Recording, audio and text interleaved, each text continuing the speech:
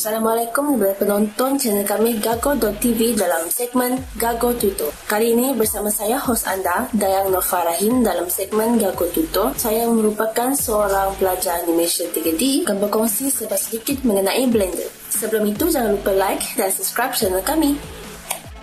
Pada mula sekali, saya ingin mengucapkan terima kasih kepada Finas.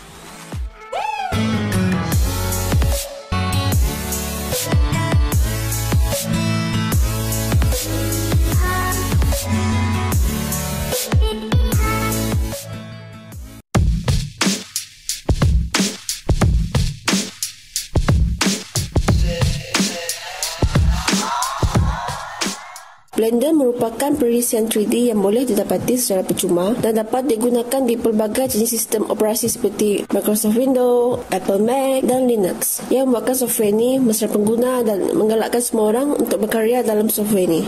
Kalau kita buka Blender, kita boleh nampak kat sini ada viewport dia. Just tekan general kalau kita nak buat file baru. Dekat sini kita boleh ubah mode dia dan sini tools-tools dia. Dekat sini area untuk animating. Dekat sini kita boleh ubah either kita nak tengok viewport sculpting mode and so on. Dekat sini kita boleh ubah material yang ditunjukkan dekat viewport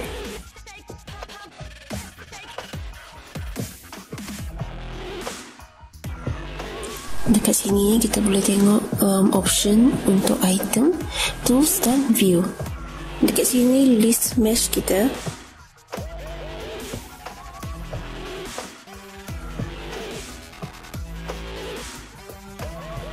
Dan ini briefly apa yang Blender boleh buat.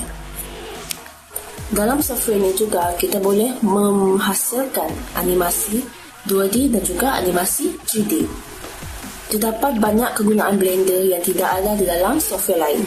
Contoh kegunaan dalam Blender ialah modeling, rigging, animation, simulation, rendering, compositing dan motion tracking, video editing dan 2D animation. Blender sangat bagus untuk siapa-siapa yang ingin belajar animasi 3D. Antara sebabnya ialah terdapat banyak tutorial di dalam YouTube yang boleh kita refer untuk belajar. Dan seterusnya, Blender ini adalah software yang free.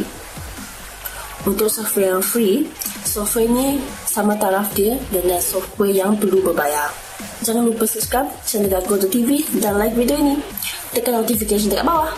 Kita jumpa lagi lain kali. Terima kasih. Salam sejahtera dan Assalamualaikum.